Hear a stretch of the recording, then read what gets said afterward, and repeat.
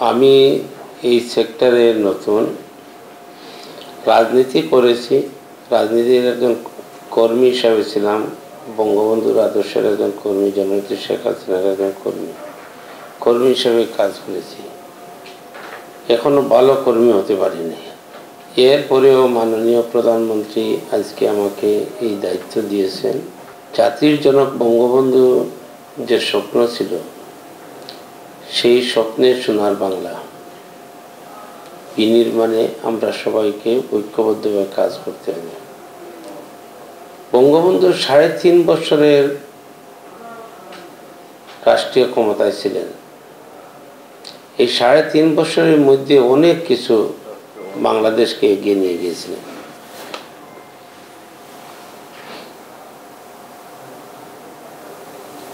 সেই কারণে ওনার মন মানসিকতা ছিল মানুষের কল্যাণ।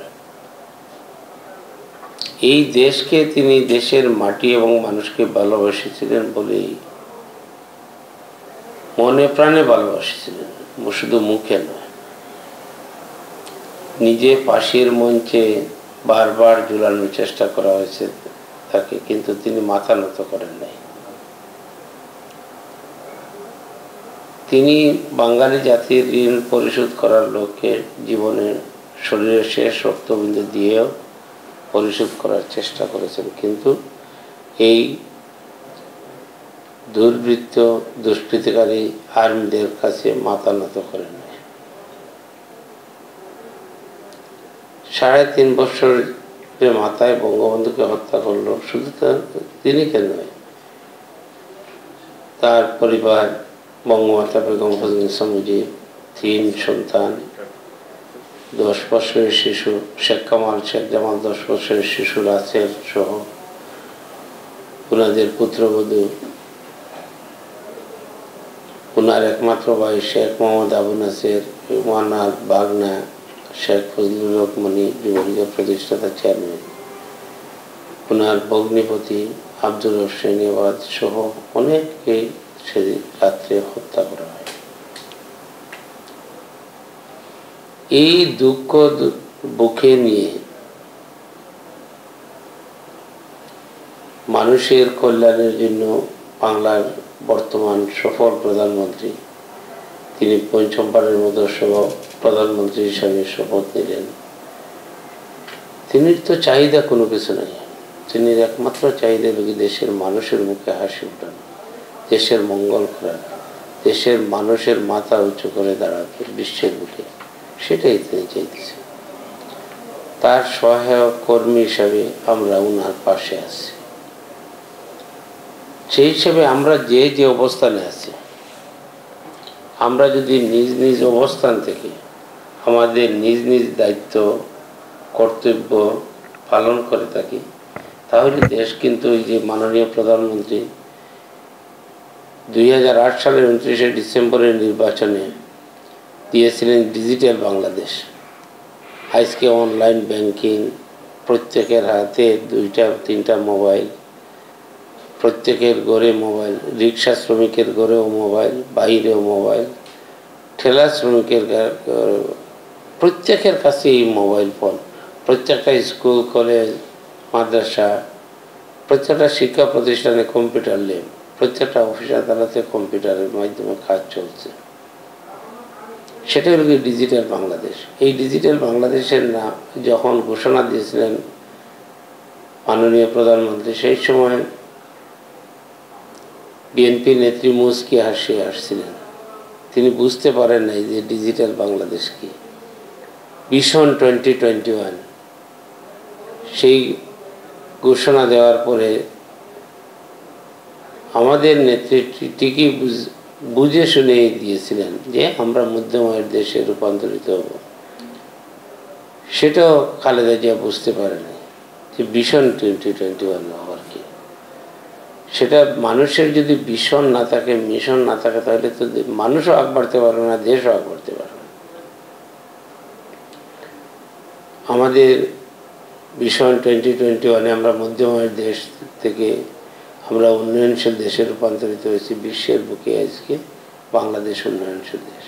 এখন দিয়েছেন স্মার্ট বাংলাদেশ।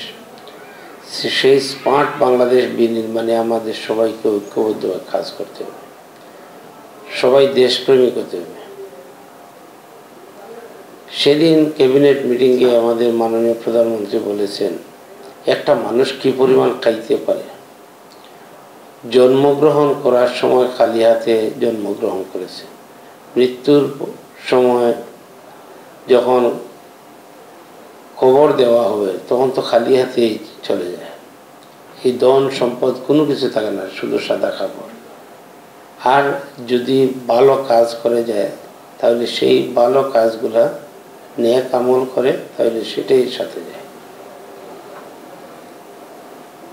সেইভাবে আমাদেরকে গড়ে তুলতে হবে, নিজেদেরকে। আমরা যদি নিজেরা সঠিকভাবে চলি, তাহলে আমাদেরকে দেখে অন্যরাও অনুসরণ, অনুকরণ করবে। আমাদের প্রধানমন্ত্রীর চাহিদার কোনো কিছু নেই। উনি বড় বাড়িও চান না, গাড়িও চান না, সম্পদের মালিকও হতে চান না। ওনারা দুই বোন আমাদের ছোট আপা, রেয়ান আপা সহ, উনিও বলেন যে, ভাই, দুই বেলা দুই মুঠো ডাল ভাত খেতে পারলেই যথেষ্ট। কারণ কি, এ তো আর মরে কোনো কিছুর প্রয়োজন নেই। আমরা যদি সবাই একটা দেশের প্রধানমন্ত্রী যদি সততা, নিষ্ঠার সাথে চলার চেষ্টা করেন, চলে, চলতেছেন, আমরা যদি সবাই সততা, নিষ্ঠার সাথে চলি, তাহলে দেশ কিন্তু এগিয়ে যাবে। আর একটা কথা আছে যে রাজার দোষে রাজ্য রাষ্ট্র প্রজা কষ্ট পায় আমাদের দেশের প্রধানমন্ত্রী মাননীয় প্রধানমন্ত্রী জনতা শেখ হাসিনা, তিনি কিন্তু একজন খাঁটি মুসলমান, খাঁটি দেশপ্রেমিক, ইমানদার, খাঁটি ইমানদার। পাঁচ ওয়াক্ত নামাজ পড়েন, তাজুদের নামাজ পড়েন, ফজরের নামাজ পড়ে, কোরআন তিলাওয়াত করে কিন্তু রাষ্ট্রীয় কাজ শুরু করেন। তিনি মুসলমান হিসেবে। অন্য ধর্মের যারা আছেন নিজ নিজ ধর্ম পালন করবেন। এই দেশ, অসাম্প্রদায়িক বাংলাদেশ করার লক্ষ্যেই বঙ্গবন্ধু মহান মুক্তিযুদ্ধের মাধ্যমে বাংলাদেশ স্বাধীন হয়েছিল। সেই জিনিসটা মাথায় রাখতে নিজ অসাম্প্রদায়িক বাংলাদেশ বলতে শুধু আমাদের এক শ্রেণির লোক আছে, ধর্মের নামে রাজনীতি করে উপব্যাখ্যা দেয়। সেই উপব্যা- অপব্যাখ্যাকারীদেরকে মোকাবিলা করেই আমাদেরকে এগিয়ে যেতে হবে। তাই আমি আমার বক্তব্য আজকে আর দীর্ঘায়িত করব না।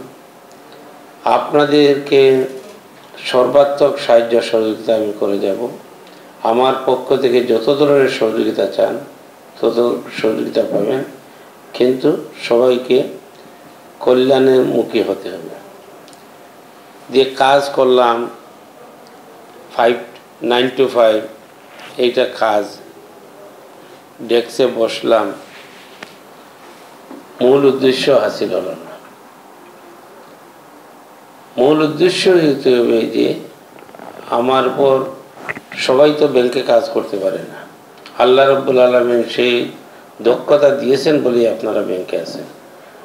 আমরা এখানে, যে যে যেখানে আছি, আল্লাহ রব্বুল আলমিন মনে করেছেন যে, আমাদের দ্বারা ভালো কাজ হবে তার জন্য বসিয়েছেন। সেই দিক বিবেচনা করে আমরা সবাই চলব। আর ব্যাংকের আরও অন্যান্য ব্যাপারে আলাপ করব, পরবর্তীতে বসবো। বসবো আমি সবাইকে নিয়ে। যে সময় যে সমস্যার সম্মুখীন হবেন, আমার সাথে যোগাযোগ করবেন। এখানে ব্যাংকের যে চেইন অফ কমান্ড আছে চেইন অফ কমান্ড মেনে চলবেন। আমরাও মেনে চলার চেষ্টা করব। সবাইকে ধন্যবাদ। খুদা হাফিজ জয় বাংলা জয় বঙ্গবন্ধু বাংলাদেশ